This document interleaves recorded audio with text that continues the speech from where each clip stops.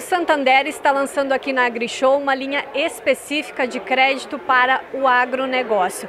É, gostaria que você comentasse para nós dessas duas linhas de crédito que estão sendo lançadas e as diferenças entre elas. Claro, nós estamos lançando, na verdade, produtos já conhecidos do público é, mensal, mensalmente, que são o CP e o CDC, que é o crédito pessoal e o crédito direto ao consumidor.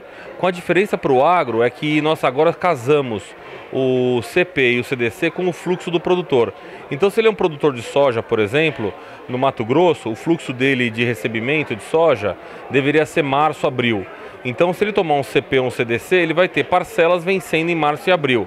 Com isso, na verdade, nós casamos o fluxo de acordo com a necessidade do cliente. Essa é a novidade que nós estamos lançando, tanto para o curto prazo quanto também para máquinas e equipamentos. Quais que são as condições?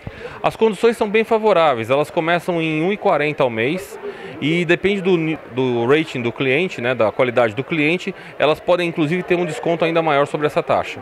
Fala um pouquinho do consórcio, que também é um programa de vocês. O consórcio, na verdade, foi lançado é, para máquinas e equipamentos pesados, não só, não só tratores, mas também caminhões pesados para o agricultor, que quer fazer um planejamento de mais longo prazo. Ao invés de guardar o dinheiro, ele, ele a, acaba comprando cotas de um consórcio para ser sorteado. E com isso ele faz uma poupança que no final vira um bem para a sua fazenda. Qual que é a fatia hoje do agronegócio no total de é, cartas de crédito, consórcios, investimentos do banco, é, linhas de crédito liberadas? O agronegócio hoje tem uma participação no, no, total de crédito do banco de mais ou menos 5%. Tem espaço para crescer muito mais. Como eu disse aqui, o, o agronegócio no Brasil é mais ou menos 22% a 25% do PIB. Nós estamos falando de uma participação no crédito do banco de apenas 5%, então tem muito espaço para crescer.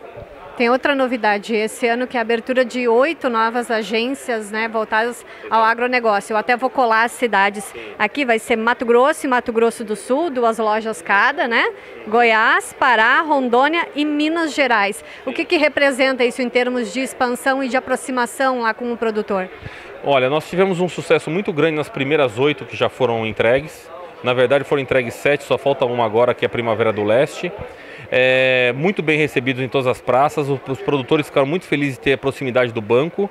E com essas novas, a gente pretende ter cada vez mais um relacionamento estreito com o produtor, estar próximo dele para entender e poder entregar novos produtos e mais relacionamento.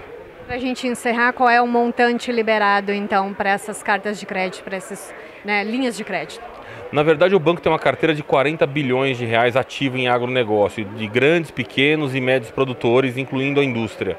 E o produtor pessoa física, que é o foco nosso aqui, aproximadamente 8 bilhões de reais é o que ele, é o que ele tem na carteira do banco. Obrigado. Muito obrigado.